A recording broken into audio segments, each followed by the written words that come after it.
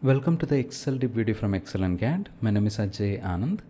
In this video, I will show you the three least known conditional formatting tricks in Excel. Here is the first one. The format painter in Excel can be used to copy paste conditional formatting rules across multiple data ranges as well as multiple worksheets. Let me show you how to do that. Right now this column is having a set of conditional formatting rules that will highlight the largest and smallest numbers in it.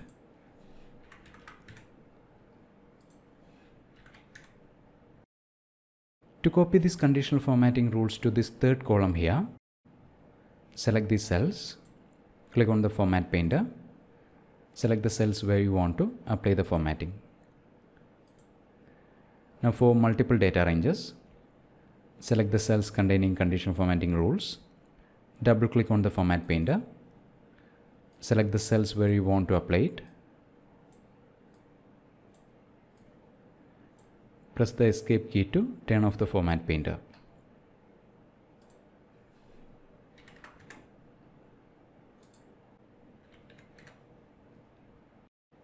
The same technique can be used to apply conditional formatting rules across multiple worksheets.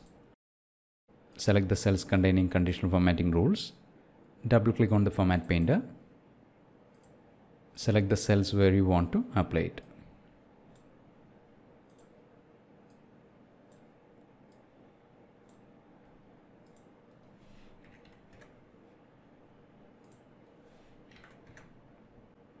The second trick also is about copy pasting conditional formatting rules.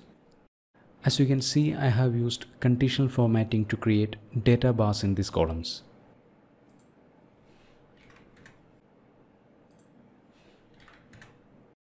Now to copy paste these conditional formatting rules into these worksheets here, select the sheet containing conditional formatting rules. Holding the shift key, select the last sheet Select the cells containing condition formatting rules. In the Home tab, Fill, Across Worksheets, Formats, OK. And the conditional formatting rules are applied to selected worksheets.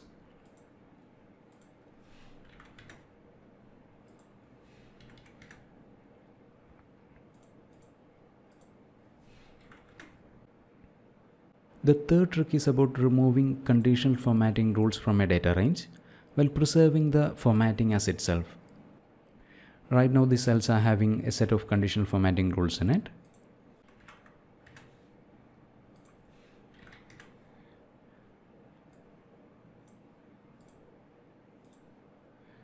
To remove these conditional formatting rules while preserving these formats as itself,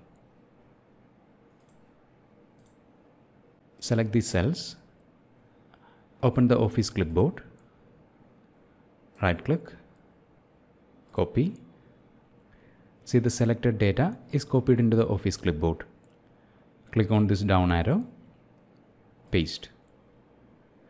And now when you check these cells for conditional formatting rules, see the rules are all gone once again.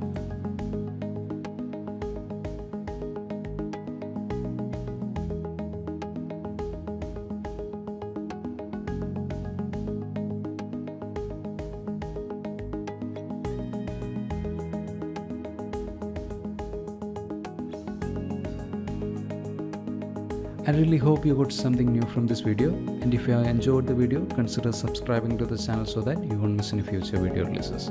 Thanks for watching and wish you a great day.